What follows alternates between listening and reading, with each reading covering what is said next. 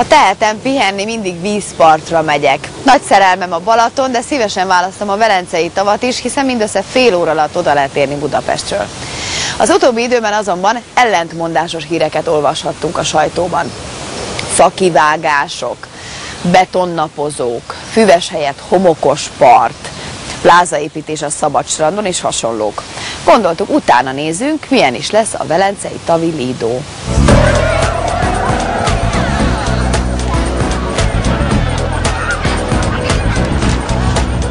Velence és Gárdony határán vagyunk, a Velencei tó partján. Körülbelül így nézett ki annak idején a Velencei tó Velencéhez tartozó szabadstrandja. A Velencei tó évtizedek óta a kisemberek nyaraló és fürdőhelye volt. A tó környéki települések szabadstrandjaira a nyári időszakban reggelente vonattal érkeztek a családok, majd az egész napos fürdőzés után visszautaztak a fővárosba vagy más környékbeli településre. Itt a 30-as években még homokos strandon pihentek és nyaraltak. Velence város polgármestere és a képviselőtestület többsége az idegen forgalom növelésére egy homokos napernyős tengerpartot utánzó strandot és egész évben üzemelő szolgáltató és bevásárló központot képzelt el a tó partjára. Az úgynevezett Velencei tó kapuja beruházás ötlete 2003-ban született meg, majd a testület 2008-ban pályázott az Új Magyarország Fejlesztési Program és az Európai Unió támogatására valami olyan gyönyörűség alakul itt ki, amit idén nyáron részben birtokba is vehetnek az ide látogatók. Van 13 ezer négyzetméternyi homokos strand, és van 13 ezer négyzetméternyi locsolt fűfelület, ami ápolt és nem fog kiszáradni. Az elmúlt években itt összesen 265 darab fát számolhattak volna meg az ide látogatók. Ez most gyakorlatilag a háromszorosára fog darabszámra is, és szépségében is növekedni, hát ne beszéljek már az egynyári virágokról, amiről Velence máskülönben is híres.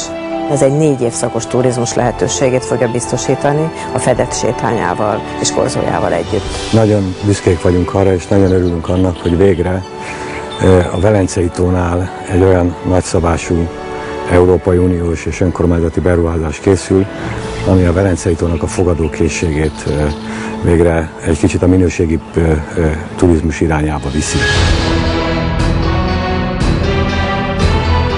Amikor a tervek széles körben ismerté váltak, a helyi lakosok egy része és a Sukoróra tervezett kaszinóváros ellenzőjeként megismert Angelika Egyesület tiltakozó akciókat szervezett.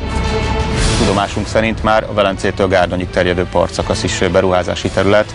Hogyha ezt a területet is beépítik, akkor gyakorlatilag már nem lesz szabad ö, ö, zöld terület, ahol az emberek le tudnak menni a tópartra.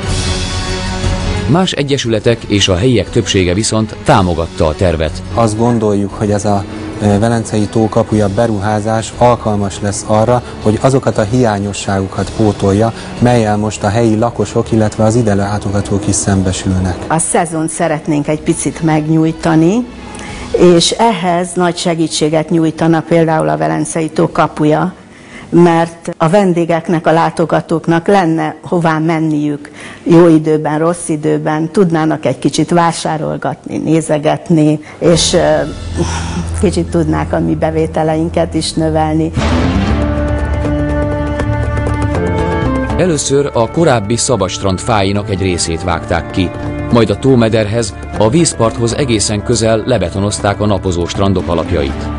Felhívtuk a figyelmet arra, hogy a védett parti sávon belül 5 egyenként fél teniszpályányi vasbetonfalakkal határolt terasz épült, és követeltük ezeknek a teraszoknak a bontását. Most nagy örömünkre szolgál, hogy a függőleges határoló falakat, amik legalább másfél méter magasak voltak, már le is vágták. Mi a további bontást is kérnénk, hiszen egy felelős városvezetésnek nagyon tiltakoznia kell, hogyha azt látja, hogy betonozás történik a Velencei tó partján, tehát ezt nem szabad engednie. Túl azon, hogy ez, ez egy brutális tájrombolás, meggyőződésünk, hogy ez gazdaságilag sem fog megtérülni.